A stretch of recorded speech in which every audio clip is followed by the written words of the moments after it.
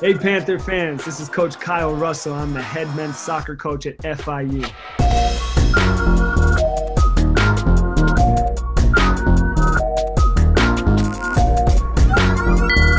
When all this COVID stuff happened at the really after nine days of being on campus, uh, message to the team was look guys we started something uh, we had good trainings under our belt we got a win under our belt um, against fau and we were we had momentum going for us. So for us, it was biggest thing is to stay safe.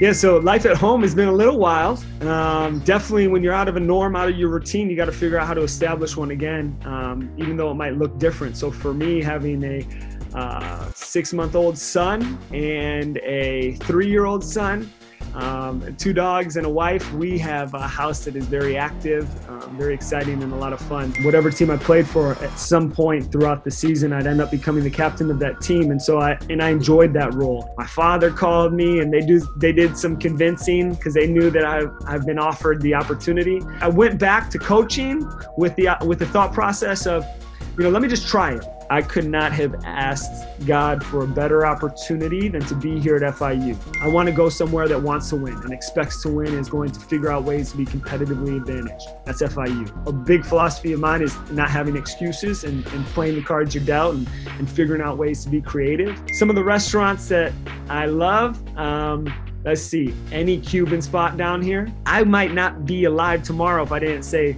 my mother in law's spot is my favorite place to eat dogs all day. Last movie I watched Malcolm X, Denzel Washington. Old school. Mark Wahlberg. Is that even a real question? Mark Wahlberg, 10 out of 10 times.